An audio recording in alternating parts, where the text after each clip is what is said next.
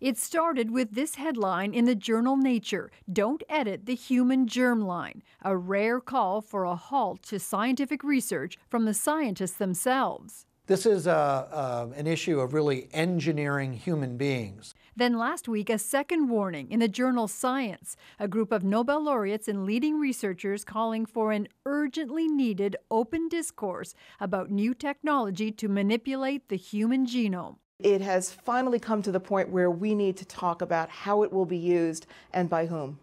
By last Thursday, the scientists from the International Society for Stem Cell Research had echoed the call to slow down the research. So this is a, a development that I think was unexpected with the, in that it was happening so quickly. What has scientists suddenly so nervous? New techniques to cut and paste DNA, allowing them to add and remove genes in a way that is simpler and more accurate than ever before. The new tools make it technically possible to permanently alter genes that could be passed on to future generations.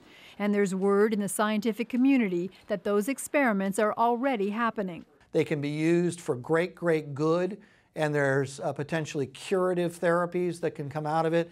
It can also be used to cross a boundary that heretofore uh, collectively humanity has said we don't want to cross. The new techniques make it possible to delete faulty genes from families cursed with inherited diseases, but there are fears it could also open the door to designer babies. We are putting this on the table before we have the report of some random attempt in some random country to do something that's incredibly alarming.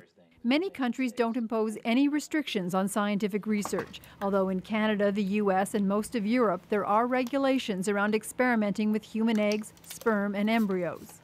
At this point, there are no calls for additional laws to restrict the research. Rather, scientists are hoping to reach an international consensus about when, or even if, they should be tinkering with genes that can impact future generations.